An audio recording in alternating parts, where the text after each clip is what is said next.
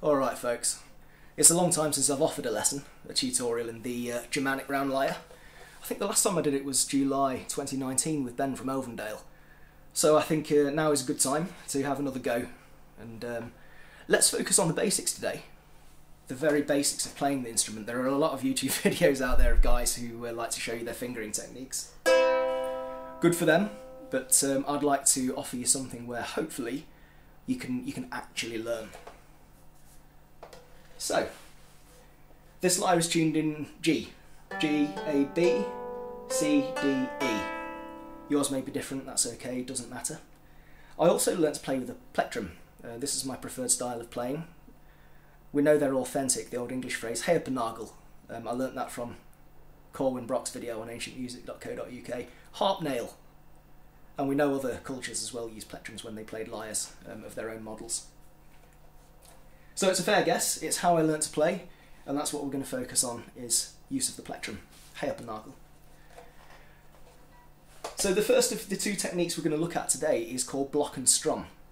And what I'm going to do is I'm going to take my fingers away from the strings I want to hear as I play across the strings. So if I play um, a major chord, we'll just go up and down the scale and you'll see that I remove my fingers from the strings that I want to hear. So it sounds like this.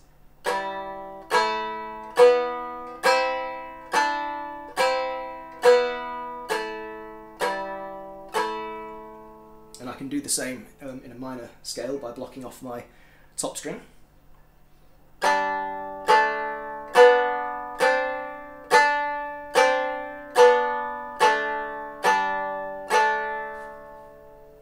That's good practice, you know, it does get your fingers going. It's kind of how you should begin. A good thing to do when practicing block and strum is to make yourself use fingers which are not next to each other. It took me a while to get this actually. So,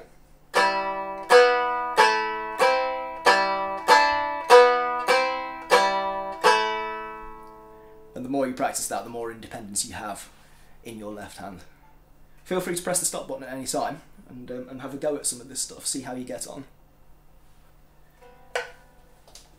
When you're feeling more confident, you can be a bit more creative with your right hand, with your, your plectrum. I, I know I'm talking as a right-hander. Feel free to reverse if you're left-handed. What I really like to do with this instrument is play completely at randomly. It's fantastic practice and it gets you used to the instrument and how it works and what it, what it can do. It's surprisingly versatile for an ancient instrument. So I'm going to play without thinking. I'm not going to plan any of it, I'm just going to play. All right.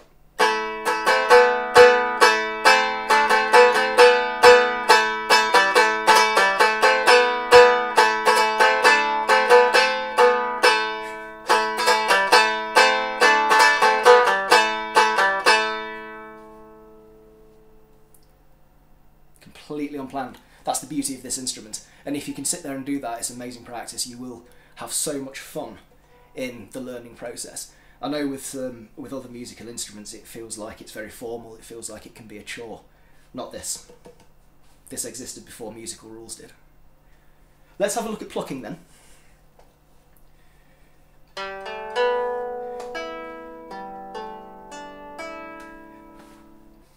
What I like to do here is play uh, notes I like to lead with my with my uh, plectrum hand, and from behind I will choose drones. So sixth string and the fifth string, the first string and the second string, they all make fantastic drones. Don't misunderstand me, any string can make a drone on this instrument, but these are my particular favourites and I'm going to use them to demonstrate, like this.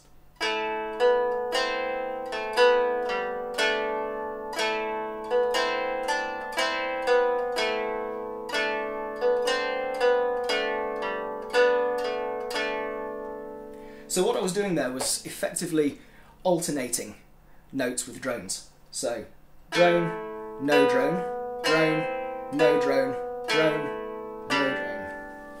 I did actually drone there, my bad. and of course you can change your drones as you go along. So I'm going to drone my fifth string here.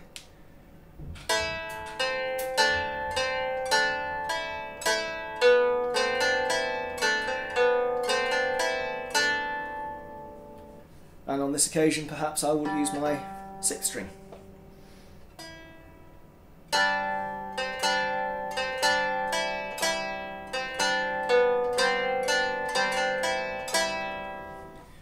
And when you get confident, when you're happy that you are able to control that, you can chop and change as you go along. So I'm going to play without thinking again and I'll show you how it works.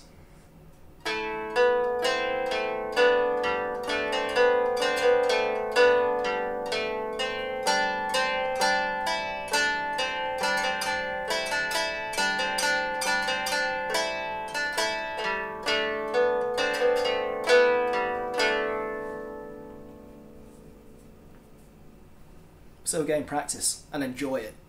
The most wonderful thing about this instrument, and indeed other ancient instruments, is that you can just pick them up and play them. Give them a bit of a dust, a bit of a tune up as appropriate, and you can just play them. There is no amplification required. You don't need any cables, there's no settings, no dials, no buttons, there's no plastic. It's a completely natural instrument.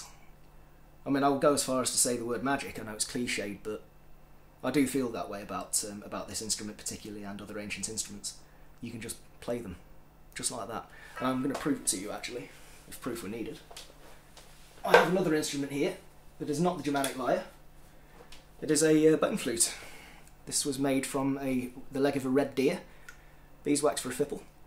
It was made by Corwen Broch from ancientmusic.co.uk. It's one of my most treasured instruments in my collection. I love to display these at shows. I mean, it has had so much snot in it from from children in the public, but uh, they love to have a go, you know. And this is another instrument you can just play completely at random.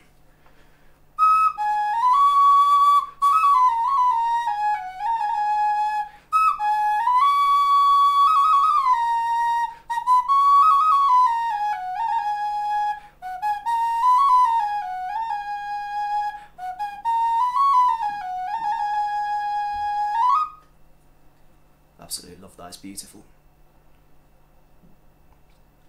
Sometimes, of course, when you're feeling mighty, nothing better than a blast on a, on a, on a blowing horn.